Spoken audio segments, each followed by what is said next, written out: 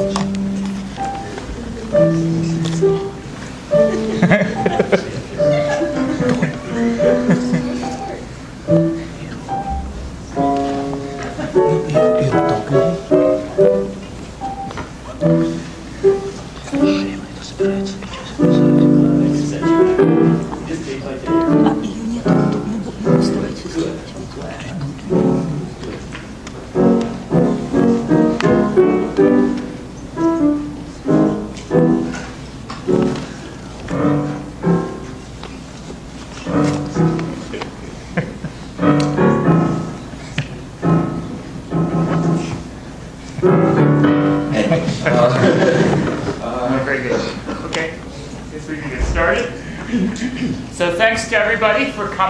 the weather, even though classes are canceled. I appreciate you coming out here. Hopefully you drive back home safely.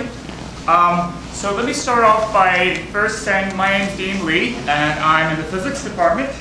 Um, but I would like to thank a lot of people who made this event possible. First and foremost, I'd like to thank Stephen Schechter, who arranged all this in the math department, and I also would thank the math department for co-sponsoring this event. I'd like to thank um, Irina Kogan and Evan Larkin for actually providing the keyboard and actually moving the keyboard from their home to here. Um, I'd like to thank uh, the physics department for co-sponsoring this event, also the, the University Honors Program, as well as Phi Beta Kappa for co-sponsoring. But I also very much appreciate the support of the faculty and students in the music department, the University Scholars Program, oh, I know a lot of you are coming from there, um, and the College of PAMS, and to, to publicize this event, and actually many others. Now, um, let me tell you a little bit about Noam Elkies. So Noam is now a professor of mathematics at Harvard. Um, he won the Putnam Mathematics Competition for college students at the age of 16. It was actually the first of three times that he's won it. Um, and then he became, well, a lot of things happened, and then he got his doctorate from Harvard in mathematics at the age of 20. Um, he studied with Benedict Gross and Barry Mazur. And then he became a full professor at Harvard at the age of 26. And that's the youngest ever in the history of Harvard, and still is. Um, so Noam is, is well known for his work in number theory and related mathematical fields. He is actually uh, quite well known for having disproved Euler's sum of powers conjecture for fourth powers. If you don't know what that is, go on to Wikipedia, and look that up. He is also the current world record holder for the highest rank elliptic curve, and the, that rank is 28. If you don't know what that means, you can look that up in Wikipedia as well. Or come to my talk always yesterday. Now, Noam is actually sort of a renaissance man, though. He's obviously a pianist, he's a very good composer as well, and he's also a world-class chess problemist. He was the winner of the 1996 World Chess Solving Championship. Now, um, so Noam obviously has a very illustrious um, uh, life history, but Noam is actually also a really spectacular person. Um, I've known uh, Noam since 1988, or actually, or 1989, when I was a freshman at Harvard. Um, I met him in the Harvard Math Department when I was doing a lot of homework. And Noam at the time was a Harvard Junior Fellow.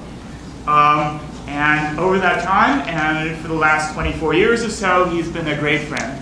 And he's, when I think of, of Noam, I think of um, somebody who likes to think deeply of things. Um, he has this sort of passion for understanding how things work. Um, basically, if something's interesting, if, if something's important, you might as well learn everything there is to know about that subject. That's sort of what Noam does. And um, I'm very honored to be- be his friend for such a long time. And I think you will be in for a nice treat. You'll have a very entertaining uh, lecture here. You'll hear some piano, you'll hear some improvisation, and there's some surprises which I won't tell you before they happen. so let's let's welcome Noam.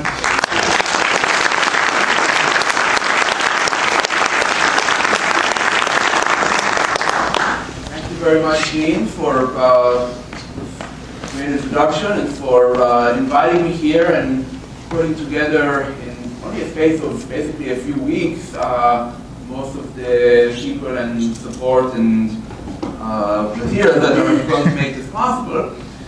Um, also also a pleasure to visit uh, such a warm weather. Uh, I'm not kidding. Where I came from, I'm told that it's going down to zero degrees today, Fahrenheit.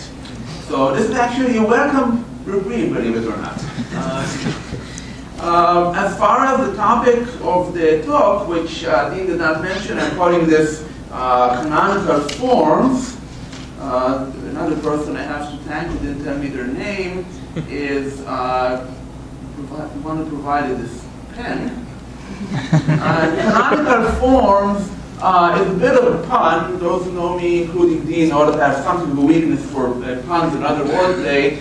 It's a, uh, it's a term in mathematics whose meaning is, you know, sort of, that's, that's, that's for a separate talk. But I'm using it to talk about the forms of musical canons.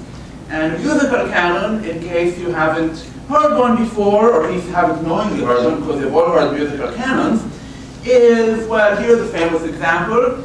It goes something like this.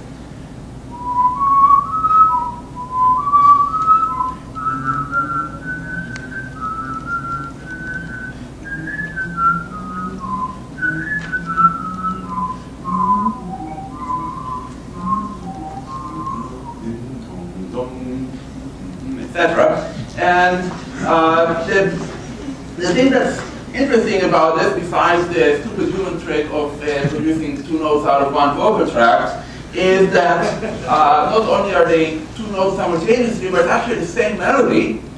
So the same thing that was happening down here that happened a few seconds before up here. So bringing them a bit to close the register.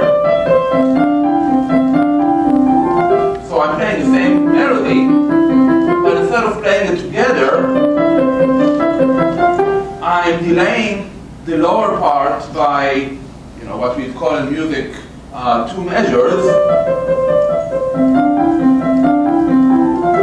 and so forth. And it actually works. It makes sense as a piece of music, and for a simple piece of music, but a piece of music nonetheless. And you could have actually done, you could have had a third voice come in. I can't do it with just my vocal track, but I have 10 fingers and I'm only looking for four notes, so I can certainly do three,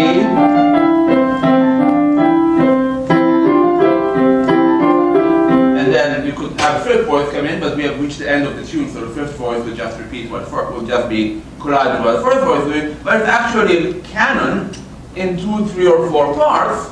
So canon in this kind, you know, it means that you have the same melody being played at, or sung at, in this case, four different times, and it all makes sense, not just as a student, but also makes sense harmonically.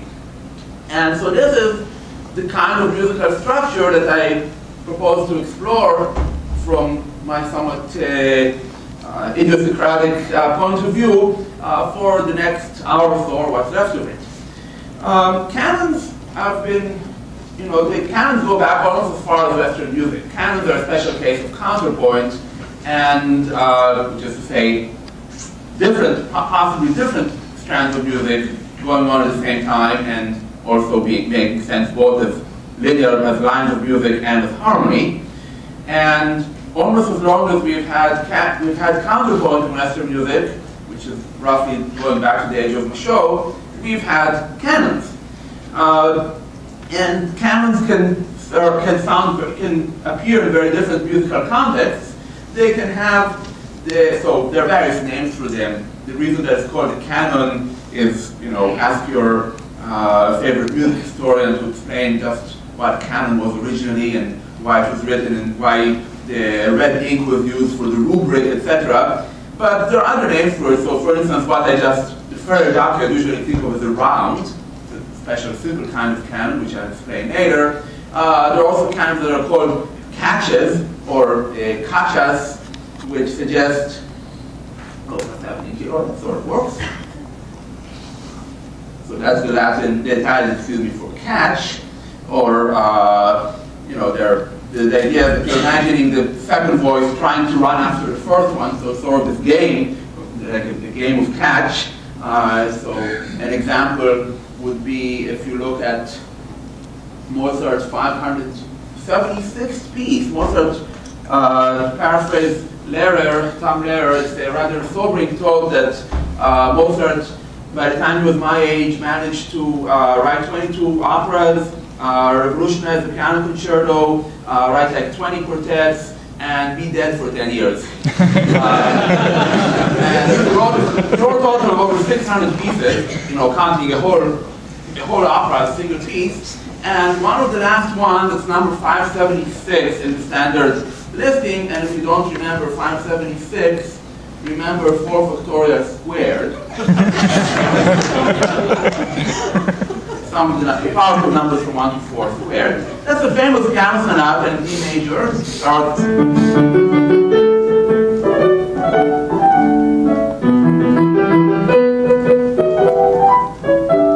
and so forth, or roughly something like that. Um, and at some point, as he's moving to a different key, he gets, so remember, the main tune was this, and he starts playing with it as follows.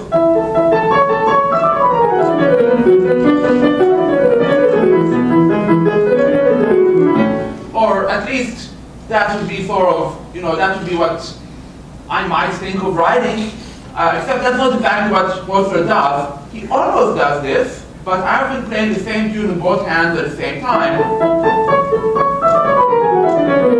What he actually does is the left hand comes in in eight notes with just one, you know, musical quantum, if you will, of time after the right hand. Or in something more like real time.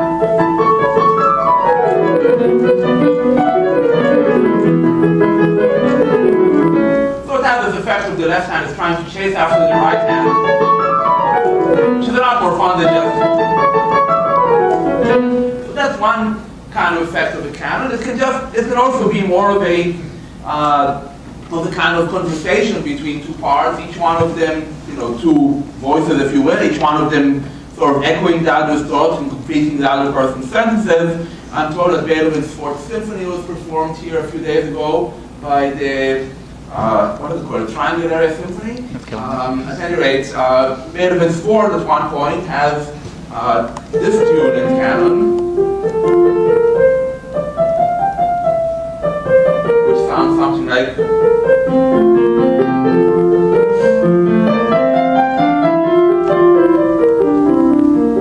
It's more like the bottom, it's not that bottom is chasing after another, it's sort of this polite conversation. I say something, you say more or less the same thing. I'm completing your sentences as it because I'm not letting you quite finish before going on to the next thought. It's not an impolite argument, it's this, uh, you know, it's this friendly conversation. And it doesn't have to be all as blatant as these examples. Each one was very clear, okay, the bassoon is doing whatever the flute was doing, just a later. So here's an example from a late piece by Brahms. I'll be coming back to Brahms every once in a while. Besides Bach, uh, Brahms is probably the most famous for including canons in his music. Uh, but people, you know, rather surprising people have done that also. Shosta- you don't usually think of Shostakovich or Schubert as doing kind of very deliberate composition that would include putting canons in their music, but there are some remarkable canons even in Schubert and Chopin and Shostakovich and almost any other composer that you know. And but the, the Brahms clarinet piano sonata at one point, so the clarinet is doing is going to be the right, is going to be the melody. Everything else is going to be the piano part. So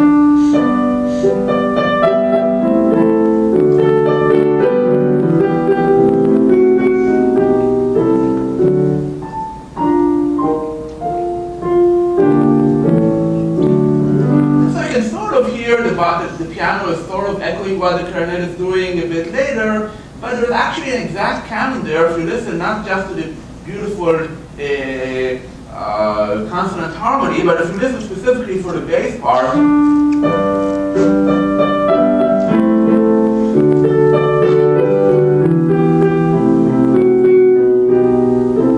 So there's an exact count. If I just put, take away everything else for a minute.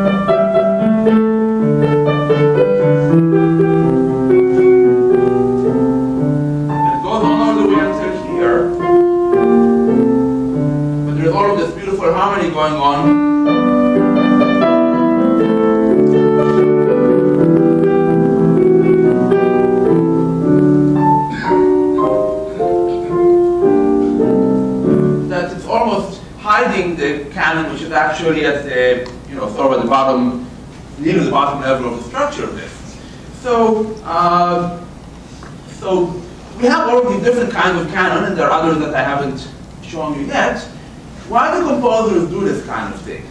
Uh, well, so there's, you know, the standard answer, why do we do anything difficult? Partly because, you know, the challenge is there. Why do people climb Mount Everest? Because, you know, it's the highest point on Earth, and it's a natural challenge. How high can you get to? Uh, there is, to be sure, some component of showing off. Look at, you know, what I can make this line of music do, but it can't be just showing off, because if you're going to show off, you're not going to hide it, right? Brahms constructed this beautiful canon, and then instead of, you know, instead of saying, look guys, there's a canon here at the 12th, he makes it, uh, you almost have to, you know, ignore, ignore the music to find the canon. So it's not just a matter of showing off.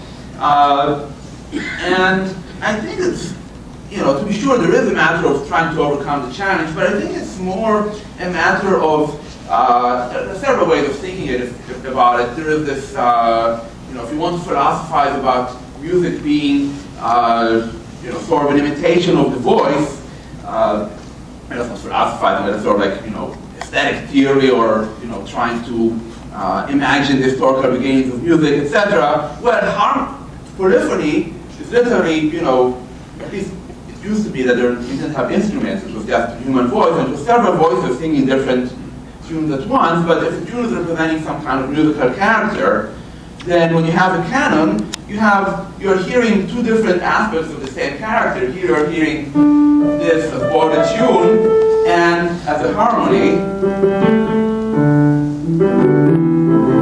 But, so it's very common in drama and movies, whatever, that you, uh, you see different aspects of the same character, but this is the only way in which you can have the two characters, the two aspects, two or more aspects of the character being able to be heard at the same time and communicate with each other, so to speak, with itself.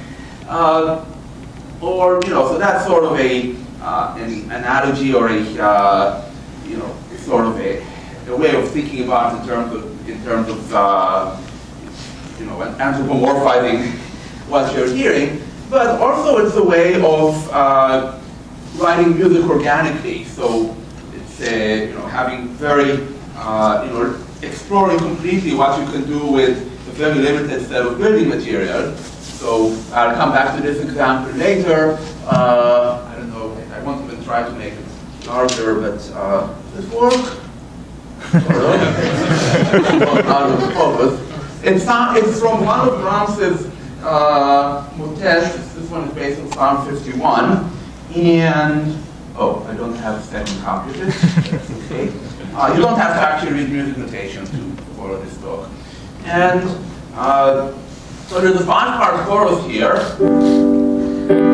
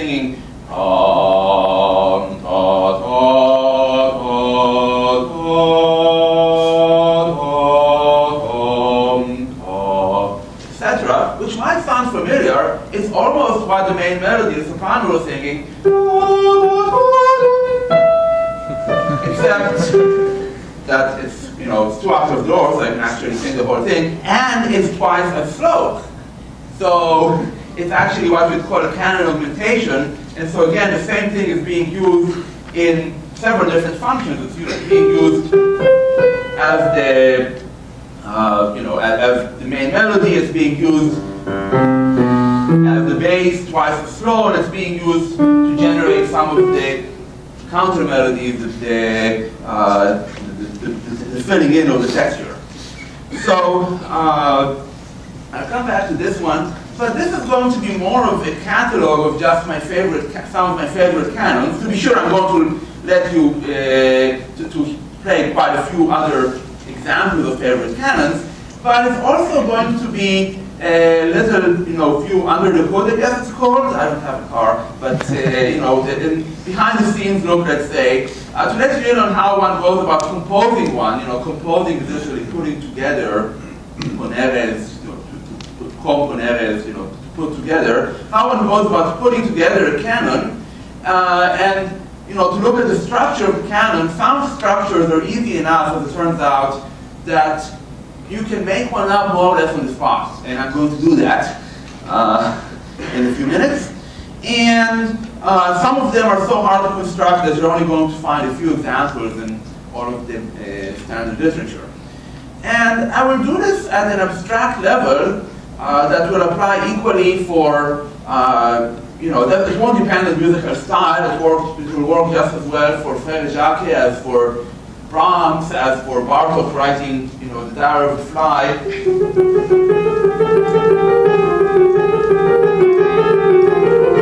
Which is almost, I mean, somebody coming from the world of Bach and Brahms, it sounds almost like some kind of grotesque parody, but it's still a, you know, it has its own musical, uh, it makes sense in its own musical terms, and it's again a canon. One voice comes in here, the other voice, it's the same tune, just upside down. The diary reply because it's supposed to like, you know, sound like annoying buzzing so forth, but, but it does so in a funny way, you know, just like, you know, the mice in the cartoon are not the mice that you're trying to, you know, keep away from you so you won't pass on disease, and they're sort of this idealized fun version of mice, and these are idealized fun versions of, uh, of flies that are realized with this canonic technique. So as I said, I'm going to do it as an abstract level that will apply to all of these, and that's for, that's for several reasons. Uh, one is I can't assume that everybody here is music notation. So I'm not going to use music notation, I'm going to use uh, diagrams. So here is my diagram, my uh, sort of summarized score of Frère Jacques.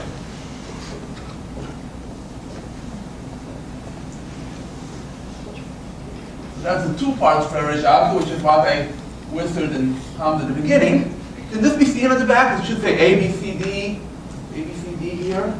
Okay, I see somebody doing this in the back. Uh, does this one look better?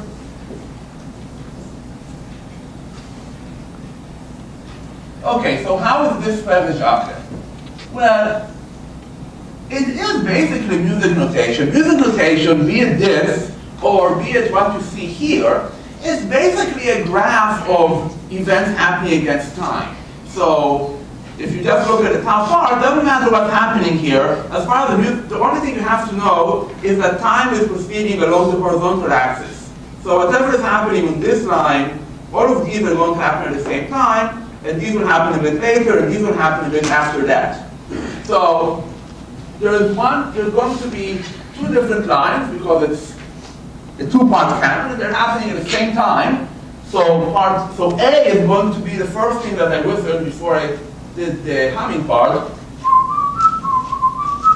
and then B is C, D, and so you see A, B, C, D is the whole tune. This is therefore the same tune, but by writing it in this fashion, I'm indicating that voice 2 is going to be coming in at the same time as voice A has, come, has gone on to B. So B will happen at the same time as A. So, and then C will coincide with, and D will coincide, and D which is, will coincide with I hope I got this right, previously see it that. Uh, so that's the score of a two-part canon of Jacques, and it's also the score of any other two-part canon. So if I was doing Row Your Boat, you know, that's A, this is B, that's C, that's D, and so the canon, first play A, then AB, by the lower part space A, and then C would B, A, so sorry, C with D. And then if I kept going in the round, then A would happen at the same time again, and I'll keep going.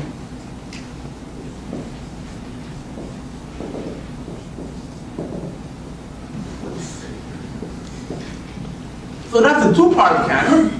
And likewise, a three-part canon would be the same thing, except there would be a third voice that would come in when voice one has reached C and voice two has reached B. And the four-part canon would be the same, except I add a fourth voice.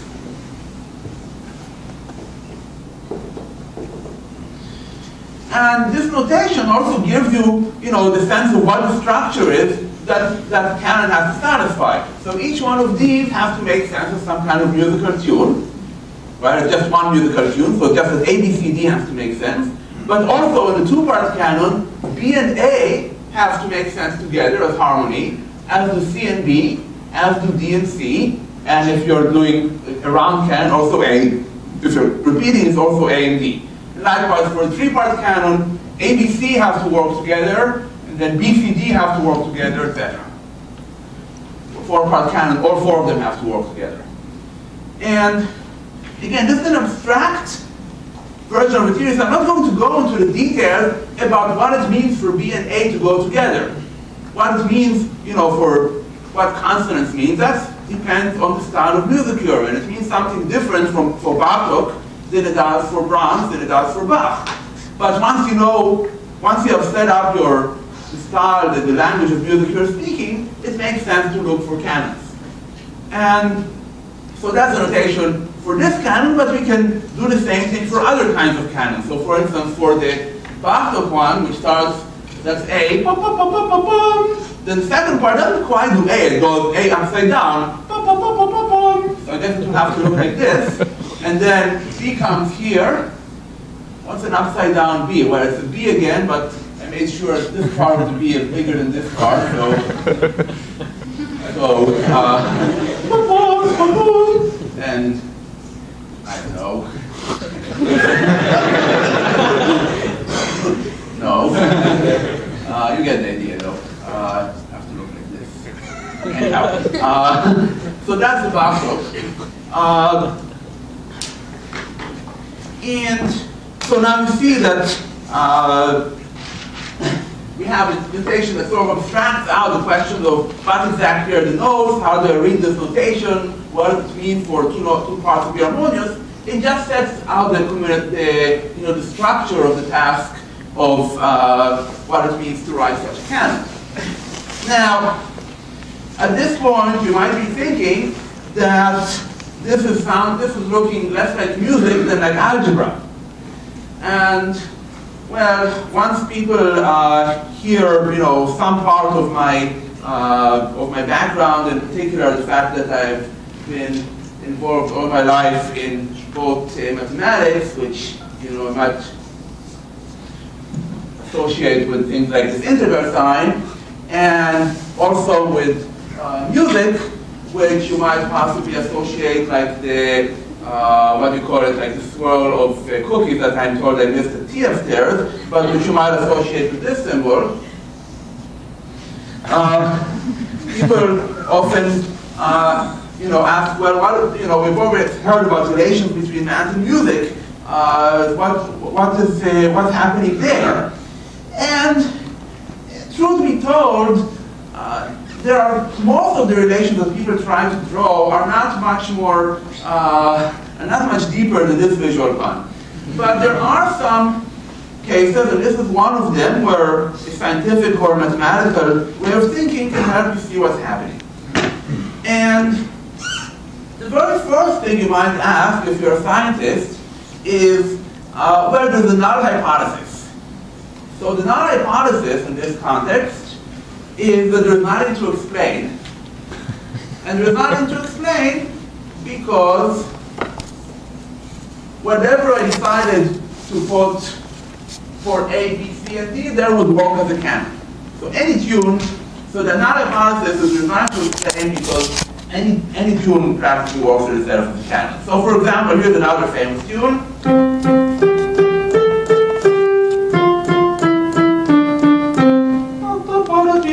Etc. So let's see. So I play that. So this is going to be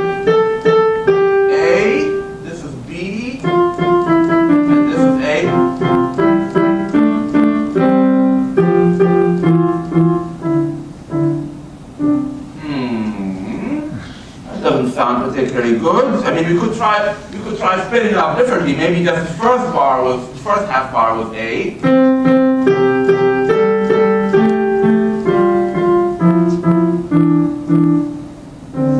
Uh, I think, I mean, you can, do this with almost any tune. Uh, this doesn't sound like a canon. I mean, yes, the right hand is playing, playing some tune, the left hand is doing the same thing a bit later, but it don't make any musical sense, least not the kind of music that we're used to, together. It sounds, it doesn't sound like a canon, it sounds like my left hand know what my right hand is doing. Uh, and I think it's pretty clear that the null hypothesis uh, is not the correct explanation for how one constructs and understands canons. Now, the mathematician, you'd look at something like this, and you'd say, okay, that's a rather complicated set of conditions. Uh, maybe there are some trivial solutions. You know, some easy way that always works, even though the trivial solution might not be all that interesting, is to at least give me some insight about what the structure is like. So here is probably the most trivial solution.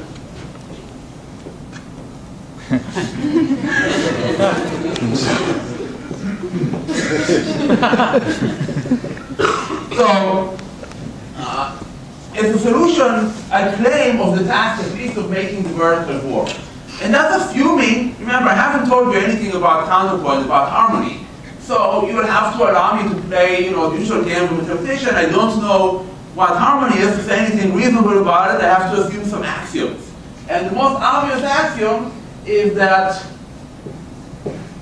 it's a bit like an equivalence relation. It can't literally be an equivalence relation because, you know, if, if A goes with B, that should be the same as B being, you know, harmonic with A. That's almost true. I mean, there's stuff about fifths and fourths, different registers, but this is a very good approximation to the truth. And this is an even better approximation to the truth. Any tune can be played together with itself. You do it all the time and you have several violins playing the same melody or a whole crowd of people singing, yeah, yeah, yeah, you know, they're in harmony, but then they're in trivial harmony with themselves. Uh, they're playing the same tune.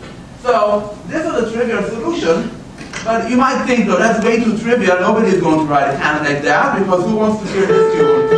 Hey, hey, hey, hey, hey, hey, hey. Yeah, it's a canon, big deal. But, uh, but musicians have learned and composers have learned to, uh, to do some things that sound quite interesting and are basically just that. So for instance, instead of A just being the note A, it might be, oh, maybe an A major chord. So I could be going up and down the same A major chord. And there are various tunes that are, you know, familiar tunes that only go up and down a single major chord. And you know, when Shostakovich came to write his set of 24 pairs and fugues, the one in A major happens to be happens to use this as a theme. Now, if you have never heard the word fugue before, I'm not going to go on the whole exposition, no pun intended, what a fugue is, but I will, you know, mention fugue, among other things, is a piece at whose climax there is almost always a canon, where, if at very least, a voice is played with some together with some, uh, you know, delay of itself, etc. So the left hand played,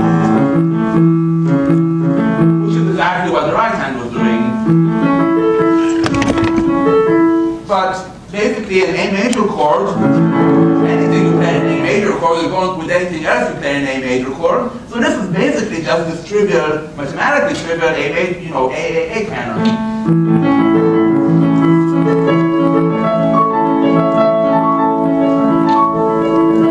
And so forth. And of course, the thing that makes this piece interesting is not the fact that it's a canon, but that he managed to construct, you know, a tune and, and a series of harmonies that make it appealing to listen to, even though when each individual theme is being, uh, each individual iteration of the theme is being played, it's basically harmonically as, as simple as it could be, it's just one major chord.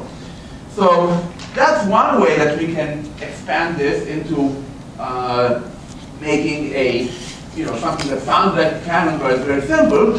Another way is to interpret A instead of a single chord as a single sequence of chords. Tune that fits that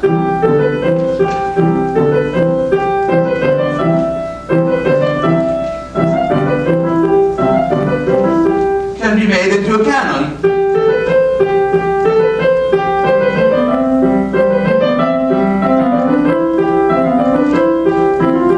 Sorry. So that in fact is how almost every round is constructed. So you start out with some simple harmonic progression, and then you find some tune that keeps going through this, but is sufficiently interesting that you can actually hear it as a musical tune and wait until the second part comes in to have all the harmony work out. In fact, what I started out with today is an example.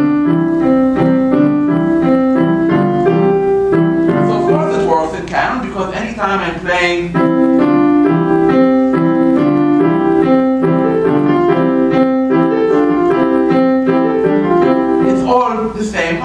of course it fits with itself. And well, you know, it fits with the earlier version of itself, because the earlier version was the same harmony. This A was the same harmonically was the same as this one, or rather, this C was exactly the same harmony as this B is exactly the same harmony as this C. And so, uh, of course, they go together. And likewise, many other canons. So, for instance, Three Blind Mice, which is what I asked to uh, put on the poster for this, is exactly the same chords.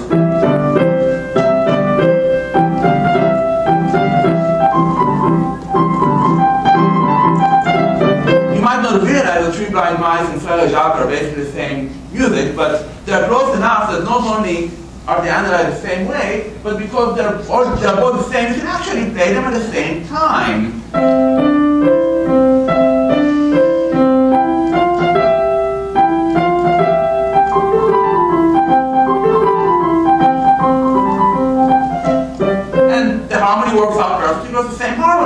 And of course that means you can play them in Canada at the same time. If You have one group playing, you know, singing Frère Jacques in two or three or four part canon, and the other singing Three Blind Mice.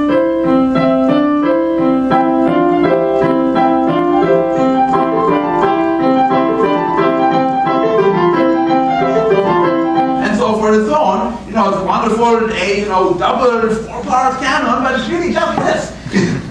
and that's again how basically every round works. Um, so, okay, so that these are what we what we usually call rounds. I, mentioned there are several various different names that are used for canons. There are catches, and there are rounds, and there are cannons. Uh, the, the rounds are usually those that you recognize that these implicitly are, you know, somewhat special, somewhat trivial case that falls here. Okay, so now uh, let us try to throw away these trivial cases, although, you know, I'll confess that even when a composer is putting together a rather non-trivial canon, they'll often resort to one of these uh, constructions to get from, you know, to get from one part of the canon to another before something else interesting happens. There is, by the way, a variation of this idea, which you might have noticed that once you get to this point in the canon, once you, if you have contrived somehow to make A, B, C, and D work together with each other as four-part harmony, they will probably also work with each other when laid out this way. And so, and likewise when laid out this way. And likewise, if you have a three-part tune that you want to make into a recurring canon,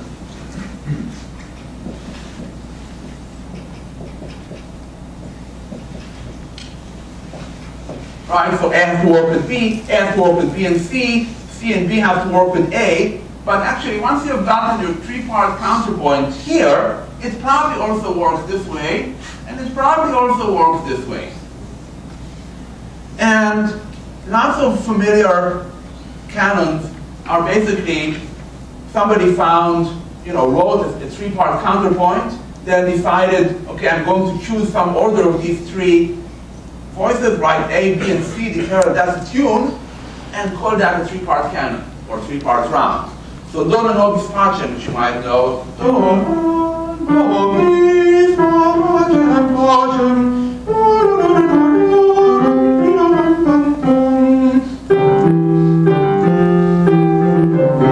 and so forth. Works the same way. It's a three-part, uh, the three-part counterpoint. It's almost certainly not by Mozart.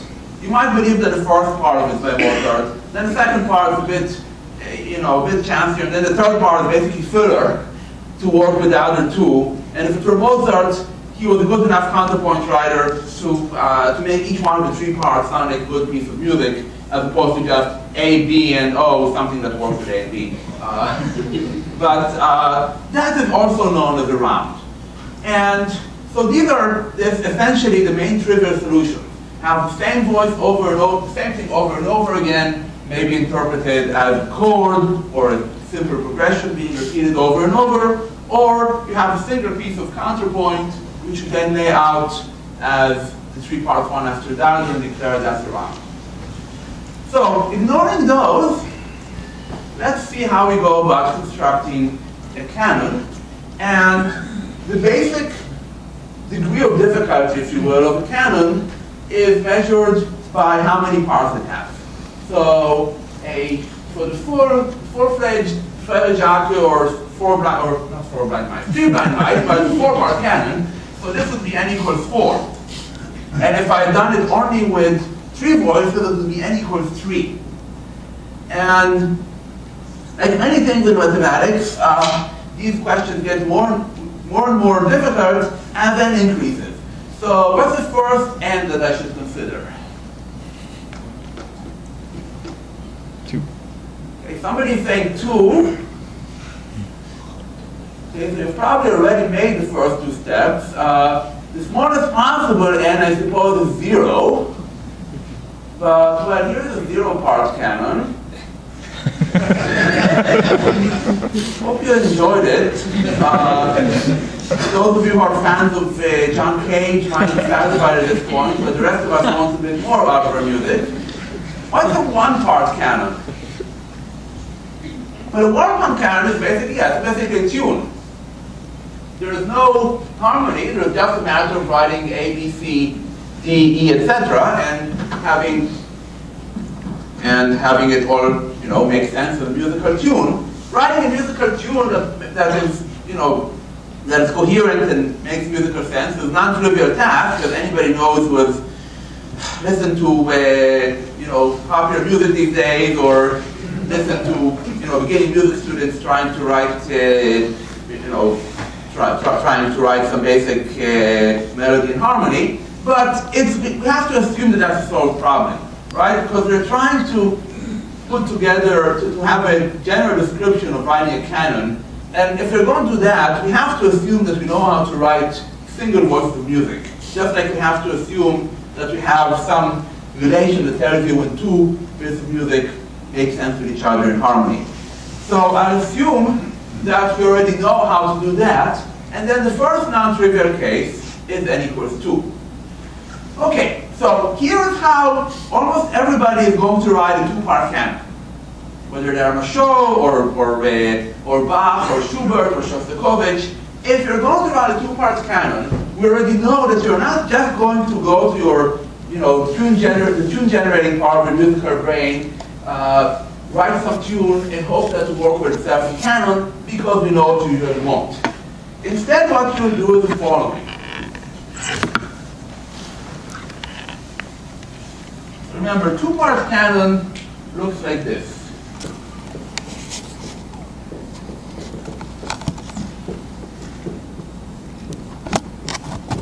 Supposing I want to make a two-part canon which starts maybe with this snippet of music. That's going to be my A. Before I write a single note of B, I already know more about this chord than just this A. I know also that part two is going to have an A here. Maybe this I should do on a separate piece of paper because I'm going to need to make some kind of diagram here. So before I write this B, I'm going to write down the A in my music score twice, one diagonally below the other. And now I know that whatever this B is, besides continuing A as a tune, also has to work with A as harmony. So maybe, and once I have chosen that B, this B has to be here. Of course, if this makes sense of the tune, so does this A going to this B. And I just put that in my score before trying to make a C. And then the C, how do I find this, by the way? Well, again, this is what I'm assuming I know already how to do. I assume I know how to do counterpoint. So doing counterpoint means, you know, if you have one tune, you can fit another tune to it. So if you couldn't do that, then there would be no point in writing canon. There's no hope of writing canon because that's a special case. But if you know how to do counterpoint, then I claim you know how to do canon. Right? So then you have to find the C that continues this B. Right? So so far we have gone here. So maybe this is C. And of course this will continue in the same fashion. So maybe uh, A, B, C, A, B and A,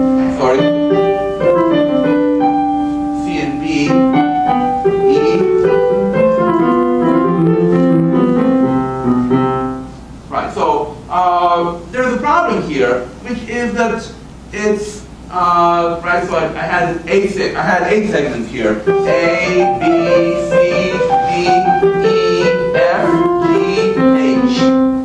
And the problem is, okay, I started this way, and then I reached H, and the second part was still on G, and to make an exact canon, uh, it just has to continue on to H, while the first voice was already, uh, you know, finished playing, or finished singing. Now, it's a common gesture in music for voices to come in one at a time. It's not nearly as common or usually as effective for voices to finish one at a time. Usually everybody finishes at the same time. You know, there's a big gesture, end of piece, clap, clap, clap, or who or whatever, or tune for the next movement. But you don't usually have a few people playing on when the rest of the orchestra has already stopped. Yeah, there are exceptions. There's the, Farewell Symphony where, you know, all of the musicians except the first few violins go out trying to hint to the Count of Esterhazy or whatever that's part time for vacation. But usually, you want everybody to finish at the same time, and almost anybody who is writing a canon will allow themselves the liberty of, well, first of all, dispensing with final H, and second, varying the thing just before it a bit, we might call it G prime, something somewhat different acts a bit like G, but isn't obliged to go on and can complete the piece with H. So maybe instead of or that's not that exciting way to be. Try the piece of that's at least more conclusive then.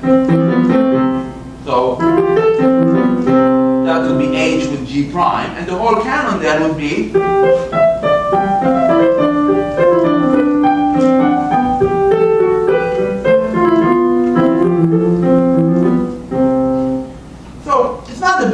the best canon ever written to be sure, but you can see it's more it's more a straightforward procedure of constructing a piece of music, and I could have even done it, you know, I could have I could have actually done it in real time, right? Because at any point I only have to remember what happened before, and you know, to think of what has to do with the counterpoint at the same time, and to show that it can actually be done real time, I'm going to do it. So I'm going to make out a canon like this one, except that I won't have prepared in advance.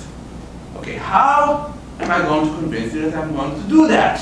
After all, if I just sat at, uh, the piano and said, let's see, uh,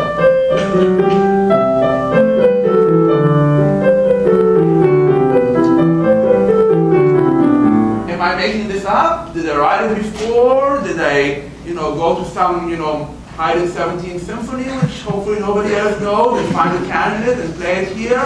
There's no, there's no way for you to know, at least not to know between the first two. And the only way that I know to, uh, to do this is, you know, what the people in cryptography would call a protocol. I prove that I can make a canon by making it a response and challenge, a- a challenge and response protocol. You give me the A. You tell me what I have to start with, and then I don't have a choice of, you know, making playing my own canon, unless I was extremely lucky and your A happened to match the canon I know already, or I was extremely devious and collaborated with somebody in the audience. So please, if you don't, if you know me, don't propose a team. Uh, but otherwise, you give me the A, and I have to execute this in real time. So some of you, I don't know the audience, but is uh, brave enough to uh, hum or whistle or sing a few notes. Anybody? Yeah, yeah. Bum, bum, bum, bum, bum, bum, bum. So this. Okay. Uh, this is a bit, this is a major chord, of course. So I have to watch out that it doesn't just sound like uh,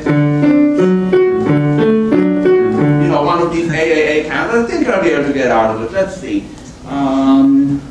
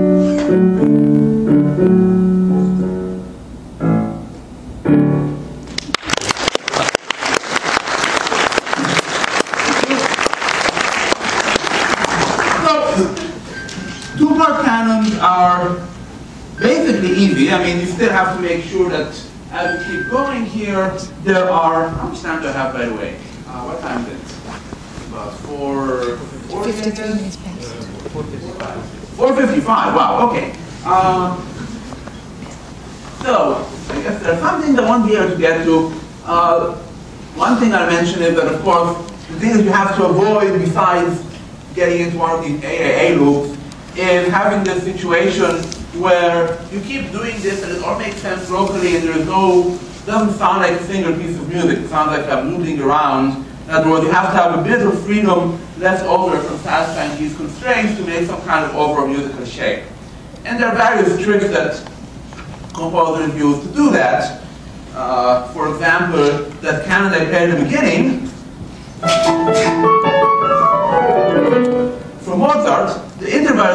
one eighth. So if I did my diagram here, A, B, C, D, right, A, B with A, C with B, D with C. So A, B, C, D, E, F, G, H, I, J, K, L, M, O, O, you know. By the time I get to six measures, it's already double, double P or something. And Mozart didn't just do that one eighth note by one eighth note. So you can hear there's a bit of, uh, you know, there's a bit of this major chord which has to work with itself. That gets us up to here. And then there's a scale. And once a scale, so a scale is a special case of what musicians call a sequence. So that's sort of, it's not quite A, A, A, A, A, but it is, you know, A, and then A translated, you know, take and then same thing down to yourself, Tadum,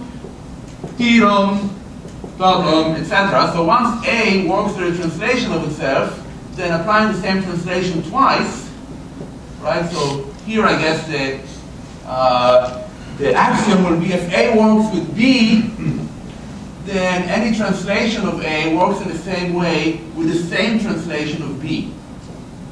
Right? That's a fancy way of saying if I if I if this canon works in A in C major, also work in G major, etc. So you know once I know that this works, because this is the same as this, just taken down a few steps. This has to work. Right, so that gets all the way, all the way from A up to whatever it is, somewhere around M, and then it does the same thing again. Of change here, but you only have to figure out one of these changes as opposed to 24.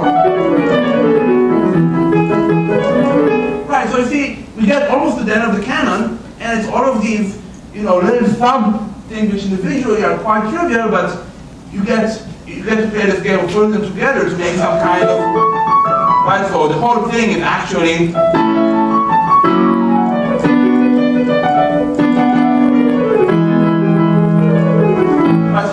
underlying harmony which the whole canon is superimposed on. Now, just to get a few of the points after that, so that's n equals 2. How do you make an n equals 3 canon? Well, ignoring this line for now, you see, this particular canon, even if I didn't know even if it's not Jacques, is still easier than writing a normal canon, you know, writing an arbitrary three-part canon in the following, following sense. Once I've reached this point, I have to make sure that voices 2 and 3 also make sense, just as voices 1 and 2 did, and as voice 1 and voice 3 make sense. But you see, this is exactly the same as that. So once I have a two-part canon here going, voices 2 and 3 make automatically work with each other, provided that I made sure to use the same interval for voice 2 and 3 as I did for voice 1 and 2. Right? If I try to make a canon, okay, maybe I should use another piece, another piece of paper here. If I try to make a three-part canon where the first part does this, second part does that as usual, but the third part enters on the fourth place instead of the third one, then suddenly it becomes extremely difficult because now this A, right, so having gone to this point, I have to find a C which will not just work with B, but will also work with A. And of course it will make sense musically with B. And then having reached this point, D will have to work with C, and also with A, and also with B. Because B and D are vertical here. So E would then have to satisfy three constraints. It will have to work with B, it would have to work with C, and it would have to work with D. And so I have to satisfy three conditions with just this one extra voice, and that's very hard. Whereas here we already have two voices that work with each other, we just have to find a third one that works with them. That's somewhat easier. And almost every three-part canon, be it Josquin or Shostakovich, is going to satisfy this property. If you don't believe me about Shostakovich writing three-part canon, listen carefully to the beginning of the great E minor piano trio, which starts. By the way, a piano trio is not three pianos. It's three instruments, one of which is a piano, one is violin, one of which is a cello. Which one of them do you think plays this?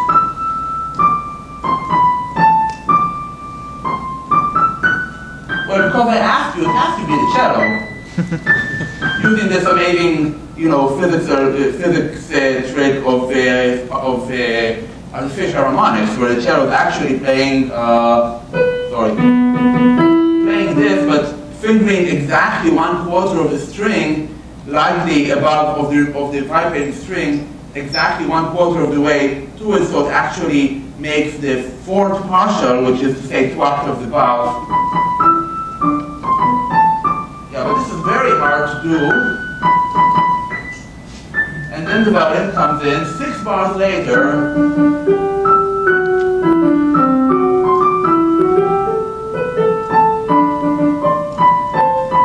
And then the piano comes in way down here. I don't have three hands, so.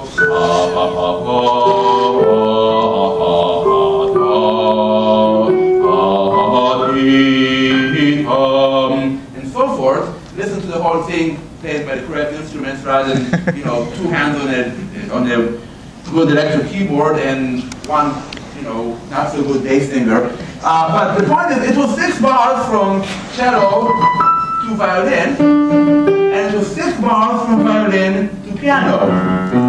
And for those of you who keep track of these things, it was also the same musical interval. So this was not entering at the same on the same note. It was not B, Notes higher. Sorry.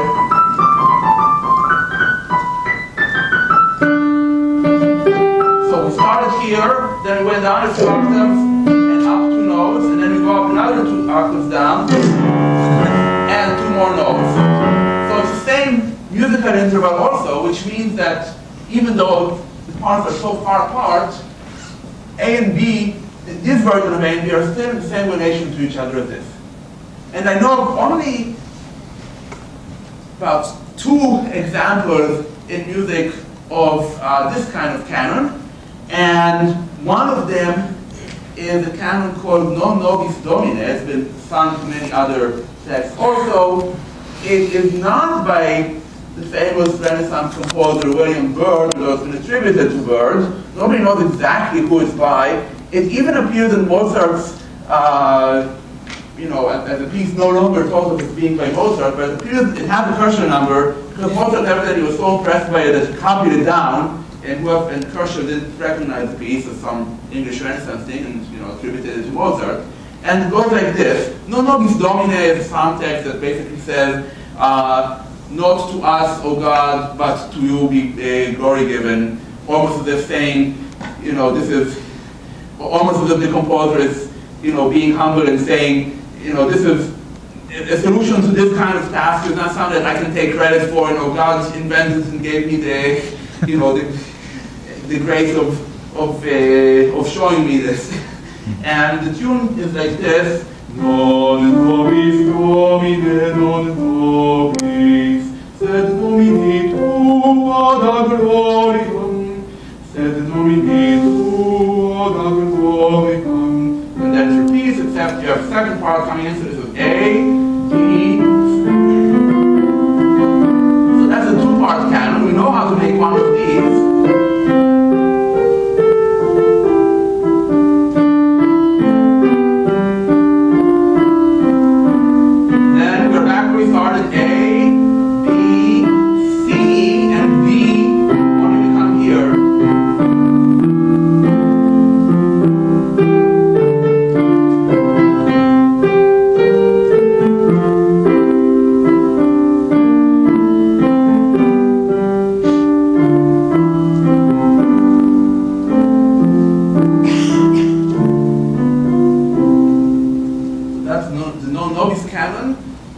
William Byrd, but by one of his rough contemporaries. As I said, there's only one other, one or two other canons I know that look like this, and at least the, the easiest one to refer to is the one from uh, Brahms' uh, uh, Warum ist das which is another one of his vocal canons, but it comes also from a massive canon that he wrote before. And just to illustrate another way that mathematical thinking can help, this is actually a four-part canon where voices one, two, and three are roughly in the same configuration as they were before, but voice four is in the same connection to voice three as voice one was to voice two. So here's, here's the music.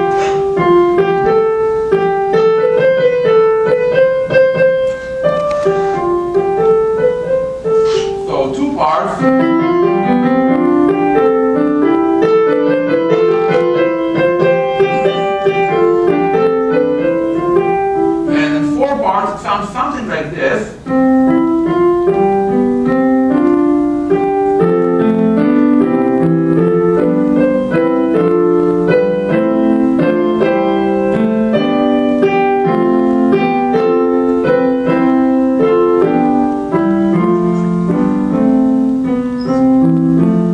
and so forth. And as I said, this looks like a very complicated structure. One way that mathematicians would be uh, tempted to think about this, which might actually be helpful here, it's really a two-part canon. It's a two-part canon, but it's a two-part canon not between single voices, but between pairs of voices. Here's one pair, and here's another pair. And they are encounter each other three units apart, and it just so happens that each one of these pairs is itself a canon at one unit apart. So, I mean, you still have to figure out a lot of things to make that work, but at least that gives you a framework for constructing it. Mathematically, by the way, you'll get another way of breaking it up this way, which is to regard, anybody see it? It's actually a two-part canon of two-part canons in two different ways because you can imagine that these are one of the pairs.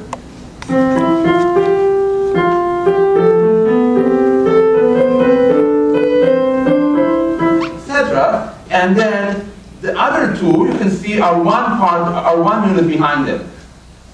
So it's up to you whether you want to think about them as, you know, two-part canons at a single time interval, three apart, or three time intervals, one apart. But anyway, it's a typical, somewhat, well, not atypical, it's an atypical example of a typical mathematical strategy of thinking of compound objects as single mathematical entities that can interact with themselves or with each other.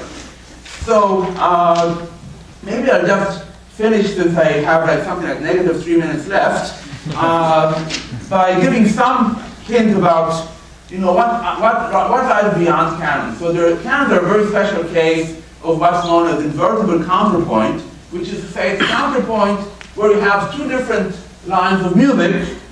Excuse me.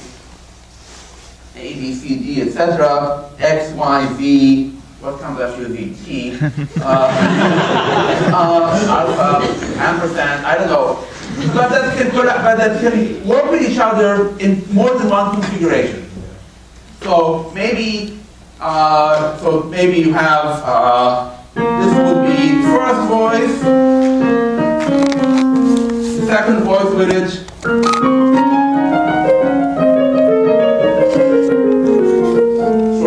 Brahms uh, variations on the theme of Handel, I think it is. And the same thing, same voice, same counter melody. So, uh, uh,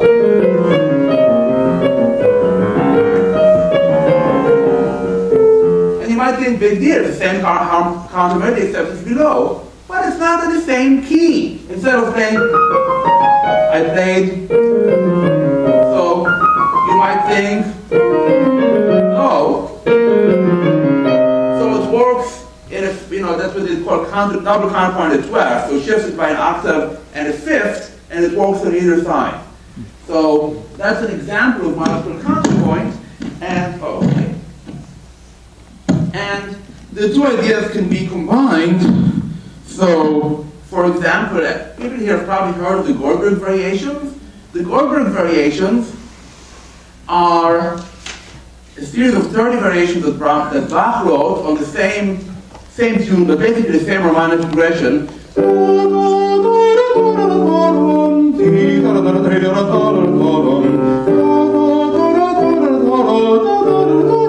And so forth. And every third one of them is a canon. So there are two constraints here. It has to be a standard A, B, C, D, etc. But there is this additional constraint that the harmony that A makes with B and that B makes with C is a given chord, you know, uh, harmony 1, harmony 2, which is constant through the whole piece. So there are fixed harmonies, and B and, B and A, besides working with themselves, have to also realize H2 in some fashion. And then C and D will have to realize H4 in some fashion. And Bach usually gives himself a bit of help here by having a free bassline, you know, X, Y, Z, E, which is not usually constrained by, what is this? Uh,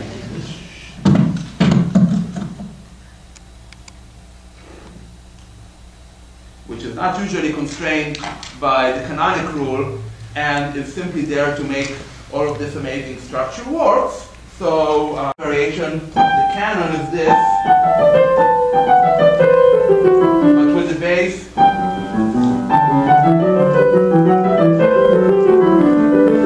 But then for the last one of this variation, we said I didn't really need all of this. Uh, the ninth variation, the 27th canon, uh,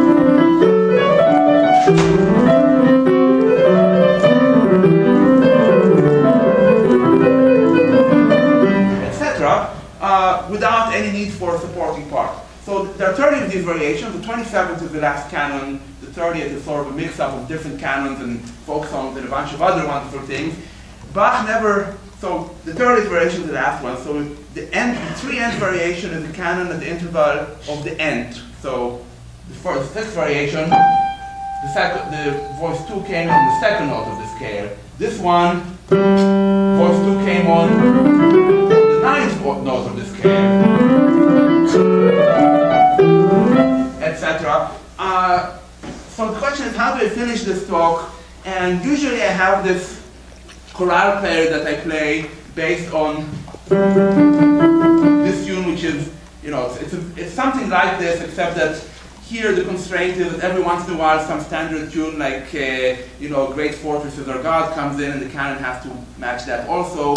Uh, I don't have enough time to do that, so I'll finish instead with what you might imagine could possibly an alternate universe might have been the 36th variation in the Gold, among the 30 Goldbergs. 36 is 3 times 12, so that means that two voices have to be at the interval of 12 from each other, so first voice would be here, 2, 3, 4, 5, 6, 7, 8, 9,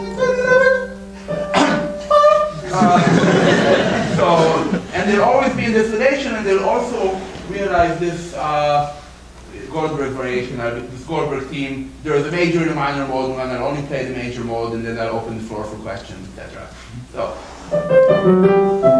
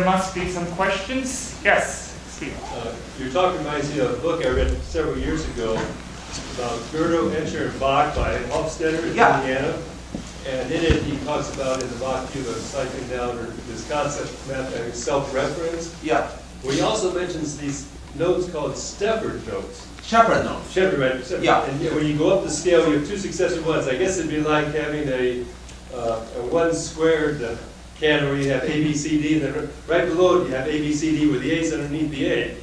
But you vary the intensity of the note, the upper one, you Yeah. soften it down, and you, so you go up the scales, you get back where you started Right. from. Can you play that? I've never heard that. Oh, dear. Uh, I think the. I read Uh, I. I, I, you know, they say discretion is the very part of valor. I think the discreet answer is to say no. I mean, what if, so this isn't exactly, I mean, it's, it's, as a canon, it's trivial, but I think it's, that it's a way of playing. You know, the piano is very long, but eventually it runs out of notes. And after seven octaves, you can't play a scale anymore unless you want to, you know, PDQ Bach. if you imagine playing all of the octaves the C major scale at once, well, imagine I'm only, there are seven octaves in the piano. I only have hands wide enough to reach four of them at once. But then if you imagine, if you imagine that somehow the upper voice is getting softer as the lower voice is coming in, so you can have the illusion, is this going to work?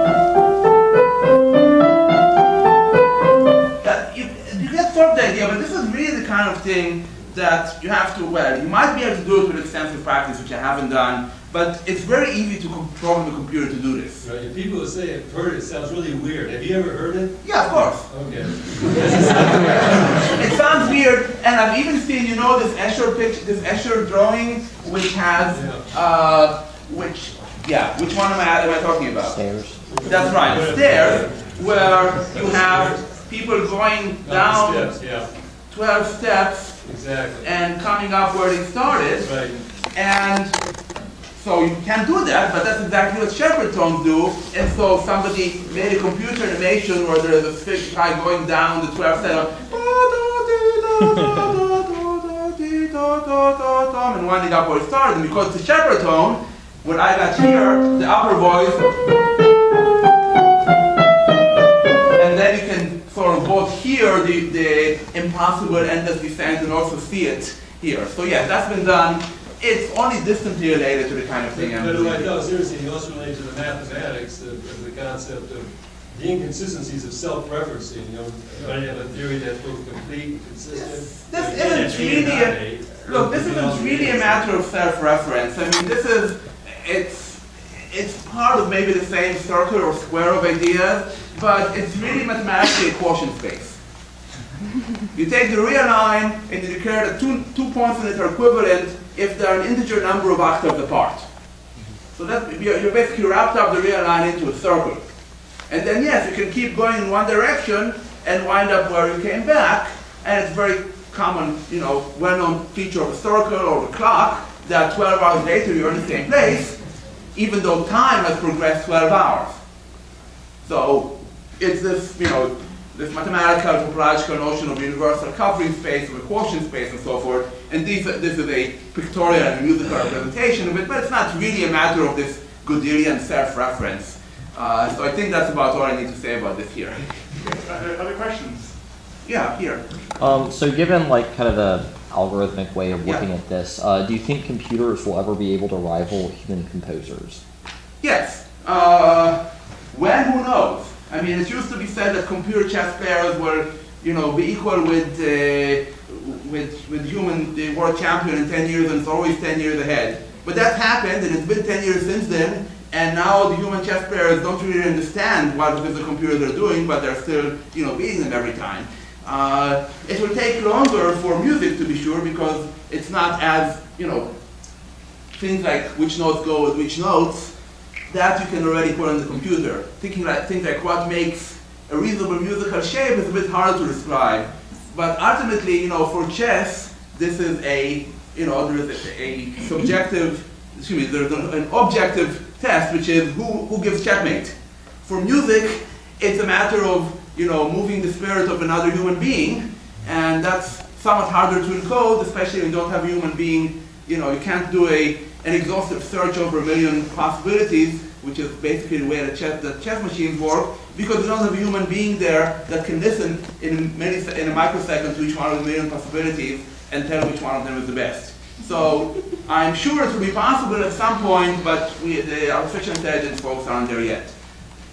Composing canons by computers in principle an easy part of this, but for whatever reason, the most convincing simulators of Chopin, of Mozart, and so forth haven't implemented it yet. They will sure soon, I'm sure. Thank you. Uh, Are there any other questions? Other questions? somebody up there, you? All right, if not, let's thank Melon once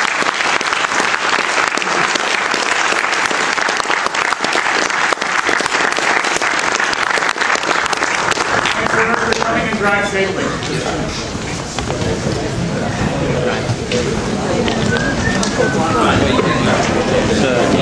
Is that